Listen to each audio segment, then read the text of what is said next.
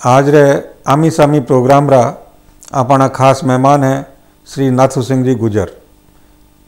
तो आज आप बात करला नाथू सिंह जी शू कि आप राजस्थानी फ़िल्मों में कई योगदान दियो और आप कई अनुभव रिया।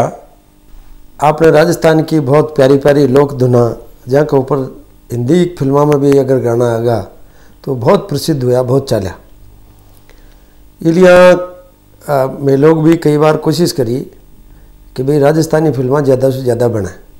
इसलिए प्रोड्यूसर भी तैयार कराया डायरेक्टर भी तैयार कराया कई बार। इन नाते कई फ़िल्में बनी। और राजस्थान का जो सब्जेक्ट है, विषय है, वन ही लेर फ़िल्में बनाई। हमारी जिसमें, जी फ़िल्म में मैं हीरो के रूप में काम करो यहाँ तो कई और फ़िल्मों में भी काम करो लेकिन देव फ़िल्म जिसमें मैं हीरो था हीरो उस वो फ़िल्म में राष्ट्रपति जी द्वारा तीन अवार्ड दिया गया। और राजस्थान के मैं यहाँ कई इलाका में बहुत धूम मचाई। अब अब भी बहुत लोग में बातें करा कि भाई राजस्थानी फ़िल्में बनाओ, राजस्थान सब्जेक्ट के ऊपर कोई फ़िल्में बनाओ। लेकिन दिक्कत यह है कि राजस्थान सरकार की तरफ़ से, जहाँ दूसरी सरकार सरकार, दूसरा प्रदेश की सरकार दूसरा, सुबह की सरकार जहाँ वहाँ की वहाँ की लैंग्वेज में जो फ़िल्में बनाए वहाँ प्रोत्साहन दे वहाँ अपना राजस्थान में कौन दे।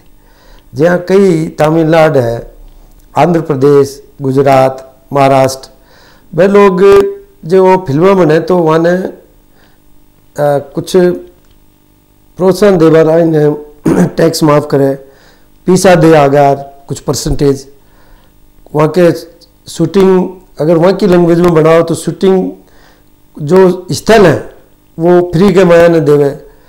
इस तरह की कई सुविधा दे तो वो फ़िल्म चूँकि जो प्रादेशिक फ़िल्म बने, वो का दर्शक सीमित हुआ करे।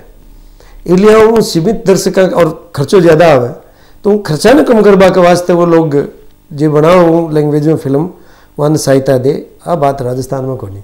अब एक हिंदी फ़िल्म मान लो एक सरकारी स्थान पर शूटिंग करवाने ले किराए तो उतना उतना पैसा, क्योंकि उनको बजट बहुत ज़्यादा है तो राजस्थानी फ़िल्म बना वालों उन जगह की का उतना पैसा कौन दे सके? इसलिए ही बड़ा बड़ा कलाकारा ने उतना पैसा नहीं दे सके। तो एक तो ये मैं जो, मैं तो कोशिश करा ही, आटा का कलाकारा ने भी प्रोत्साहन दिया डायरेक्टर ने आका सब्जेक्ट गाना, धुन, लेकिन राज्य सरकार की तरफ़ से, चाहे कोई सरकार रही हो राजस्थान में, कोई सरकार है, वह इन फ़िल्मों ने का क्षेत्र में ध्यान ही कौन दे बातें तो कभी कदे कर ले, लेकिन ध्यान नहीं दे। इनके कारण न तो स्टूडियो बन पाया आज तक अपने इठे। और न लोगों ने रोज़गार का अवसर पैदा होता, वो को नहीं बन पाया। और ज़्यादा हिंदी फ़िल्में भी, या राजस्थानी फ़िल्में भी ज़्यादा मात्रा में नहीं बन रही। नाथू सिंह जी, आज आप मैंने स्टूडियो में पधारिया। आपने बहुत बहुत धन्यवाद। धन्यवाद सर।